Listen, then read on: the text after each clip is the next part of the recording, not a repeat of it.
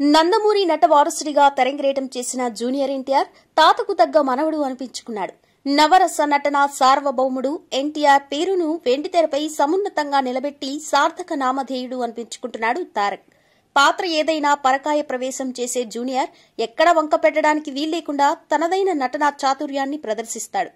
అందుకే ఆయన సినిమాలు ఫెయిల్ అవ్వచ్చు కానీ నటనలో మాత్రం ఎప్పుడూ ఫెయిల్ కాలేదు జూనియర్. ఆ విధంగా తెలుగు సినీ విలీనాకాశంతో టాప్ స్టార్గా వెలుగొందుతున్నాడు. అయితే చాలా మందికి జూనియర్ ఎన్టీఆర్ సినీ కెరీర్ గురించి మాత్రమే తెలుసు.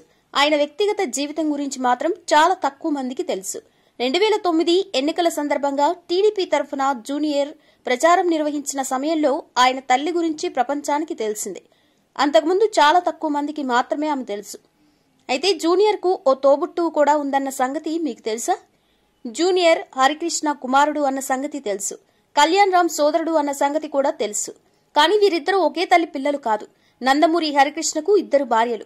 మొదటి భార్యకు ఇద్దరు కుమారులు జన్మించారు. వారి జానకిరామ్ కళ్యాణ్ రామ్. ఇక రెండో భార్యకు కూడా ఇద్దరు పిల్లలు కలిగారు. వారిలో ఒకరు జూనియర్ ఎన్టీఆర్ కాగా మరొకరు అమ్మాయి. జూనియర్కు చెల్లెలు ఉన్న సంగతి చాలా మందికి తెలియదు. ఆమె పేరు సుహాసిని. ఎన్టీఆర్కు చెల్లెలంటే పంచ ప్రాణాలు.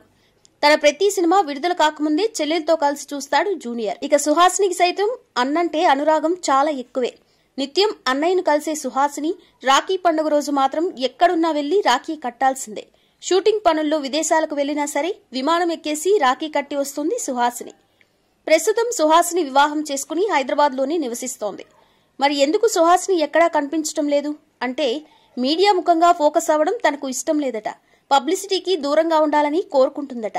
అందుకే జూనియర్ ఎన్టీఆర్కు చెల్లెలైన అటు ప్రేక్షకులకు ఇటు ఫ్యాన్స్కు ఆమె ఎవరో తెలియకపోవడానికి కారణం ఇదేనట. ఈ కారణం చేతనే ఫంక్షన్లలోనూ పెద్దగా కనిపించరు సుహాసిని. ఎన్టీఆర్ ప్రస్తుతం రాజమౌళి దర్శకత్వంలో వస్తున్న త్రిబులార్ చేస్తున్న సంగతి తెలిసిందే. ఎంతో క్యూరియాసిటీని రేకెత్తిస్తున్న ఈ ప్రతిష్టాత్మక చిత్రం గురించి ఎప్పటికప్పుడు అప్డేట్స్ తెలుసుకుంటూనే ఉంటుందట సుహాసిని.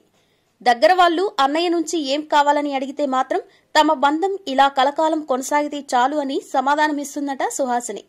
మరి ఈ అన్నా చెల్లెల బంధం శాశ్వతం కావాలని మనం కూడా విష్ చేద్దామా? ఈ వీడియో మీకు నచ్చినట్లయితే లైక్ చేయండి షేర్ చేయండి. మరిన్ని అప్డేట్స్ కోసం మా ఛానల్ని సబ్స్క్రైబ్ చేసుకోండి.